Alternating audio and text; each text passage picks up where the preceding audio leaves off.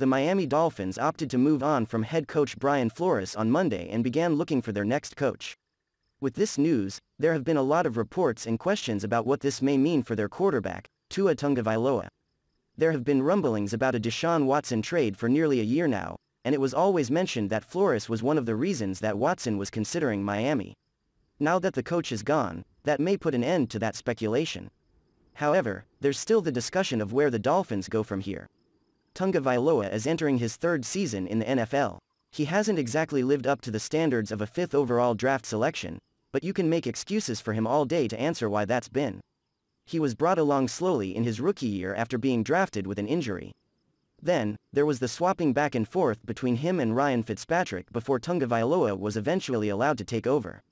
And, his second year was plagued by more injuries, started only 12 of 17 games, a terrible offensive line, and some questionable play calling.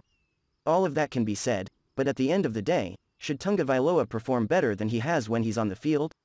That answer is yes. So, now without Flores, owner Stephen Ross has said the quarterback decision will fall on the next head coach. An up-and-coming offensive coach like Cowboys offensive coordinator Kellen Moore, who the team has requested to interview, may look at Tagovailoa and see a guy who he can fix. He helped take Dak Prescott's game to the next level, so he may believe that the same can happen in Miami. Will the next head coach, whoever that may be, want to ride out another year or more with Tagovailoa? That won't be answered until we find out who accepts the job. Miami Dolphins may need to trade Xavien Howard this year. The Miami Dolphins went through a rocky situation last year with Xavien Howard and they could be headed into another nightmare in 2022. At some point in time, enough is enough. On Tuesday, Howard tweeted out a rather odd message. Was it a simple, goodbye for the season or is there something deeper to it? Speaking to several people close to the Dolphins, there is a genuine desire to get out of Miami for Howard. Last year, money saved him but it may not be that easy this year. If the Dolphins are hellbent on keeping him, they are likely going to run into more offseason issues that include him staying away from the team's workouts. What the Dolphins should do is trade him. If he is indeed disgruntled in his Twitter message as him wanting to say goodbye, then Chris Grier needs to field calls and ship him off to the highest bidder or one of the worst teams in the NFL where he can cry some more. Howard will go to another Pro Bowl this year but we all know that he was not close to the corner he was in 2021 that led to his desire for an adjusted contract. Some believe that he will try and leverage more money this offseason. At some point, again, enough is enough.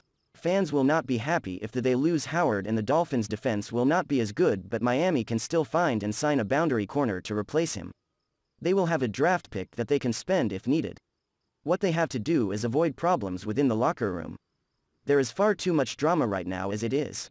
Howard doesn't have any trade clauses in his contract so he doesn't control where he would be traded to.